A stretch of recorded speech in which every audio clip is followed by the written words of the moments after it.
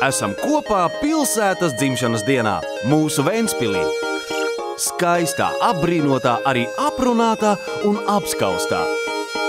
Pilsētā, ko dēvē par valsti valstī, ģimenei un mazuļiem draudzīgu, ziedošu un strūklakās dzirkstošu. Uzņēmīgi cilvēki ir tās labklājības pamats. Vēnspils ir tikpat dažāda un mainīga kā mēs. Lepnie un strādīgie ventiņi, kas darbu darīt prot un svētkus svinēt. Kad mums ventiņiem ir svētku sajūta? Pilsētas dārzniekiem un puķu sievām lielākā svētku sajūta ir tajā brīdī, kad pilsētā tiek iestādīts ap 90 tūkstošu viengadīgo puķu. Puķu stādījumos, ziedu skultūrās, piramīdās un puķu barjerās.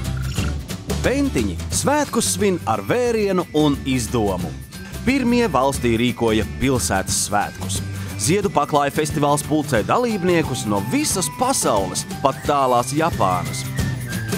Ja jūras svētkus svin daudz vietā Latvijā, tad strūklaku modināšana notiek tikai pie mums. Šogad iesākām šo tradīciju. Arī pārventas svētkus, protams, svin tikai Vēnspilī. Un vēl mēs svētkus, protams, rīkot visu gadu. Vēnspilī draudzīgi dzīvo dažādas tautas - krievi, baltkrievi, ukraiņi, poļi un daudzi citi, bet svētkus svinam kopā. Vēnspilī labi jūtas ik viens. Svētki ir tad, kad ir daudz draugu apkārt. Un tas ir Vēnspilī, Jūlijā un katru gadu Kurlanda Baiknīte. Kas būtu Vēnspils bez ziemas priekiem Lemberga hūtē? Tā populāra ne tikai vietējo, bet arī tuvējo valstu slēpotāju vidū. Mazie vēnspilnieki priecīgi par rāgaviņu kalnu, kas izmantojams bez maksas. Kā līdzenumā uzbūvēt kalnu, noskaidrot ieradusies pat Japānas TV šova uzņemšanas grupa. Piedzīvojuma parks ik gadu piedāvā jaunas atrakcijas.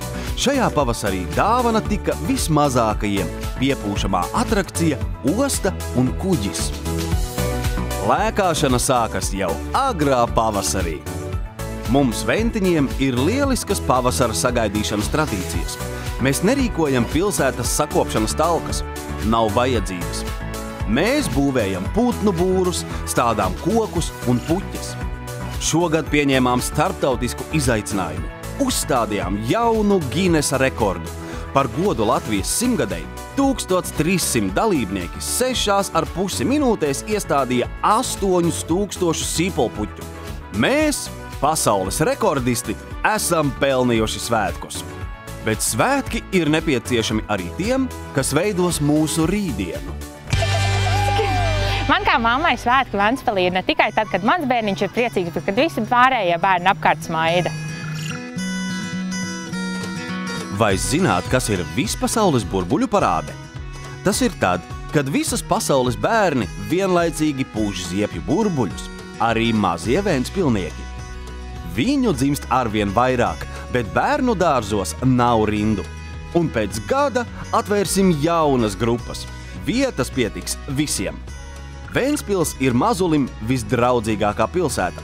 Par to var pārliecināties ik viens. Pie mums ieviesta unikāla programma. Ģimenēm ar bērniem ir īpašas stāvvietas. Viegli atrast, kur pārtīt bērnu, ļoti ērti braukt ar ratiņiem un padomāts, lai iestādēs var iekļūt ar bērnu ratiņiem. Par bērniem rūpējas gan vietējie ārsti, gan ārsti no Rīgas. Ventiņi zina, cik svarīgi būt veselam. Mediķiem vislielākā gandarījuma sajūta un arī svētku sajūta ir tad, kad viņi ir izrakstījuši pacientu un viņš smaidoši aiziet mājās. Mēs Ventspīlī turpinām veidot nākotnes slimnīcu. Tuvākajos gados tās attīstībā ieguldīsim 10 miljonus eiro. Pilnveidojies Kurzemes acu centrs. Tajā Ventspilnieki var saņemt visa veida palīdzību, kas nepieciešama labai redzei. Nav vairs jābrauc uz Rīgu. Vismodernākās iekārtas redzes pārbaudēm iegādātas arī poliklīnikai. Kurzemē vienīgais nieru aizstāja terapijas centrs palīdz pacientiem ar nieru mazspēju saglabāt darba spējas, labu omu un dzīvību. Ventspils domei un slimnīcai ir jauns sadarbības partneris – Rīgas Stradiņa Universitāte. Būs mums jauni ārsti, plašas diagnosticēšanas iespējas, izmantosim ārstniecībā jaunākās digitālās tehnoloģijas. Ventiņi zina, ka aktīvs cilvēks ir vesels cilvēks. Mums, pludmales volejbolistiem, svētki ir tad, kad ārā ir saulains un vismaz plus 10 grādi. Ventspīlī ir Latvijā modernākais un daudzveidīgākais Eiropas līmeņa olimpiskais centrs. Tas nemitīgi attīstās. Pārventā top jauns atletikas komplekss, paplašināta atletikas zāle ūdens piedzīvojuma parkā. Esam tikuši pie pludmales volejbola stadiona un kopumā deviņiem pludmales volejbola laukumiem kā arī futbola laukuma ar vismodernāko segumu. Pie mums notiek gan profesionālas sacensības, gan svētki sporta entuziastiem. Mums svētki ir te vai katru dienu vasarā. Jo katrs veiksmīgs pasākums, kad mēs redzam tik daudz cilvēku smaidus sejās, patiesībā nu, tie ir arī lielie dzīves svētki. Tā kā mums ir tā priekšrocība katru dienu svinēt svētkus. Ielu sporta un kultūras kustība Geto Games ļauj jauniem cilvēkiem piedāvāt alternatīvu savu spēju izkopšanā, būt dažādiem. 20 valstis, 13 sporta veidi, izcili sportisti un Ventspils Geto Games akorda festivāla norises vieta. Ventspilnieki ir aktīvi, labprāt sacenšas un stāda augstus mērķus. Nav ko samierināties ar pusi. Jau otro gadu piedzīvojuma parkā skrienam pilnu maratona distanci. Bet Ventspils nūjošanas festivāls izaudzis līdz starptautiskam nūjošanas festivālam. Bet var arī mierīgāk un tuvāk dabai. Pa veloceliņu apkārt Būšnieku ezeram. Pilsētā pārvietoties ar riteni ir patiešām ērti. Izbūvēti celiņi 50 km garumā uzstādīti velopumpji un 1200 veloturētāji. Balva par paveikto velokultūras veicināšanā ir pelnīta. Ar riteni var droši doties arī uz darbu. Kad mēs pilsētai parādām savas jaunās mašīnas, tad mums ir patiesi svētki. Ventspilnieki Mērķiecīgi strādājot, izveidojuši savu pilsētu par vienu no galvenajiem industrijas centriem Latvijā ar visstraujāko attīstību. Britu izdevums Financial Times vairāk kārtīgi augstu novērtējis Ventspils brīvostas un Ventspils pilsētas paveikto, piešķirot balvas dažādās nominācijās. Pilsēta atzīta arī par investoriem draudzīgāko pašvaldību Latvijā. Uz šejieni tiek pārceltas Buhera municipāla mašīnu ražošanas līnijas pat no Lielbritānijas un Šveices. Ražotni atvēris inovatīvā iepakojuma poligrāfijas uzņēmums Immer Digital. Ventspils elektronikas fabrikā strādās Ziemeļ-Eiropā modernākā elektronikas grupa Hansa Matrix. Pie mums investēt sākuši pat ķīnieši. Uzņēmums Vasar Kabel Baltica ir pirmais. Un tuvākajos gados Vēnspils brīvosta uzbūvēs vēl trīs ražošanas ēkas. Veiksmīgam uzņēmumam nepieciešami zinoši darbinieki.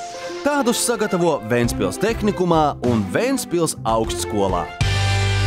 Mums svētki ir tad, kad spējam nodrošināt mūsdienīgu izglītību un piedāvāt pat tādas ekskluzīvas studiju programmas, kādas nav Baltijas valstīs. Mēs veidojam Vēnspili par viedo tehnoloģiju centru. Finansējumu jaunu ideju izstrādē saņēmuši vairāki informāciju tehnoloģiju uzņēmumi. Ventspīlī izstrādāti un saražoti digitālie logi, tiek ieviestas runājošas urnas un SOS aplikācija ātrai saziņai ar pašvaldību. Tas tikai sākums. Mūsu skolotāji saņem par pašvaldības līdzekļiem iegādātos portatīvos datorus bet Vēnspils digitālajā centrā Vēnspils dome finansē kursus visiem, kuri vēlas vadīt dronus. Mums ventiņiem pa spēkam arī kosmosa apgūšana. Vēnspils sadarbībā ar partneriem no Brēmenes pirmā Latvijā radīja satelītu, kurš tiek izmantots Vēnspils augstskolas kosmosa pētniecības centrā. Lūk, kā mēs izskatāmies no augšas! Nu, tas integrēts Eiropas radioastronomijas novērojumu tīklā, un mūsu zinātnieki strādā kopā ar visas pasaules kosmosa pētniekiem. Bet Ventspils augstskolā top arvien jaunas studiju programmas. Vēnspils atbalsta arī tos, kuri tiecas kļūt par zvaigznēm tepat uz zemes. Man lielākie svētki ir tad, kad eh, šis ieguldītais darbs Vēnspilī ataugļojās ziemā, kad mēs esam uz piedestāla un svinam to dienu, to uzvaru vai medaļu. Mēs patiesi lepojamies ar Vēnspilnieci. Rio de Janeiro Olimpiādas 4. vietas ieguvēju un Eiropas vicečempioni svarcelšanā, pērn par uzlecošo zvaigzni sportā atzīto Rebeku Kohu. Viņa Japānas galvaspilsētā Tokijā uzstādīja nacionālo rekordu un, izcīnot zelta medaļu, kļuva par pasaules junioru čempioni. Mēs visi uzgavilējām, kad futbola klubs Vēnspils izcīnīja jau septīto Latvijas kausu. Viņi ir mūsu čempioni! Triumfu piedzīvojam arī kopā ar kamerkori Vēnspils. Iegūtas balvas divos prestižos starptautiskos konkursos čempiona tituls Nāciju Grand Prix 2017 un Grand Prize 2017 un pirmā vieta vairākās nominācijās koru konkursā Polijā. Bet Vēnspils mūzikas dzīve drīz iegūs jaunu mērogu. Mums, mūziķiem, darbs vienmēr ir svētki, bet mūsu vislielākie svētki būs tikai tad, kad uzcels mūsu jauno skolu.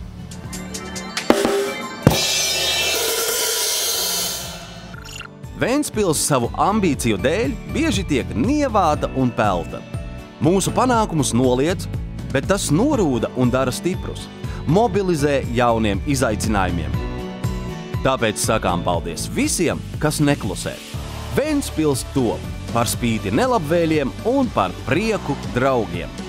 Jau drīz Lielajā laukumā līdzās unikālajai strūklakai būs jauna skola, jauna koncerta zāle un skanēs Baltijā modernākās stabuļu ērģeles.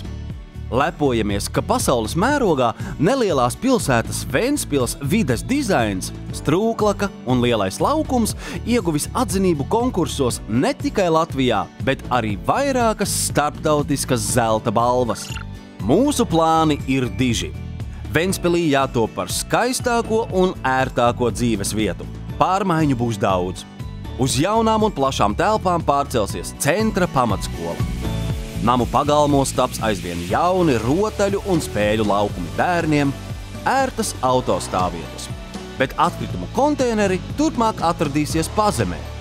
Mēs būvēsim jaunu 50 metru peldbaseinu, Kāliņciema bibliotēku un bērnu bibliotēku Vecpilsētā.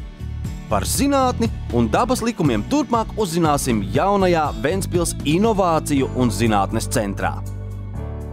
Ventspils savā 727. dzimšanas dienā ir lielu pārmaiņu priekšā. Ko mēs vēlam savai pilsētai? Lai Ventspilī daudz bēbīšu, lai viņi dzimst un lai viņi nāk. Nu, ko lai novēlu Ventspilī dzimšanas dienā? Lai vienmēr precīzs bloks un labi pārredzams laukums. Mēs, Būhera komanda, Ventspilī svētkos novēlam sakārtot un tīru vidi. Būt smaidīgiem, jaukiem un mūžam jauniem kā mūsu bērni. Jā! Lai Ventspils top un ieceres piepildās. Mīļie ventiņi un viesi! lai līksma Vēnspils 727. dzimšanas diena!